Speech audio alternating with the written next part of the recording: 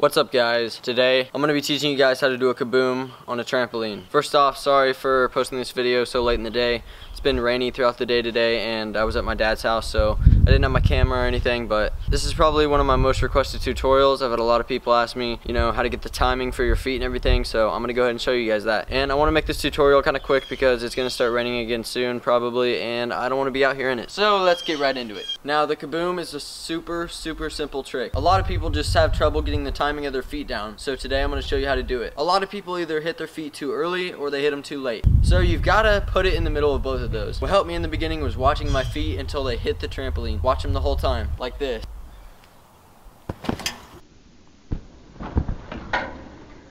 And make sure you're hitting with your heels and just kind of snapping down. You want to do it fast, but not too fast. If you snap them too fast, you're not going to get full rotation because then you're going to be spinning faster than you're leaving the trampoline. Right when your back starts to hit, you're going to smack your heels down with a straight leg.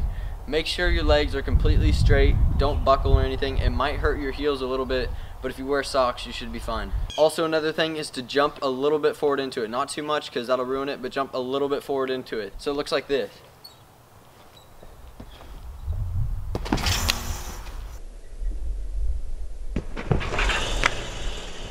Simple as that. So after you got this simple kaboom down, you can pretty much move right onto the double kaboom if you know a double backflip. Because you're pretty low to the trampoline, it's not going to hurt that bad if you mess up. But all I can say is just wait till your feet smack to grab your legs and pull over your head. Don't try to rush it super fast because that will ruin your spin. So once you've got your legs completely straight and you're watching your feet to the trampoline, all you got to do is make sure you're smacking and then grabbing your legs and pulling your legs over your head just like a Cody. Codys and kabooms are pretty similar in the sense that you have to make your own momentum. So once you've got your kabooms down, just practice doing this.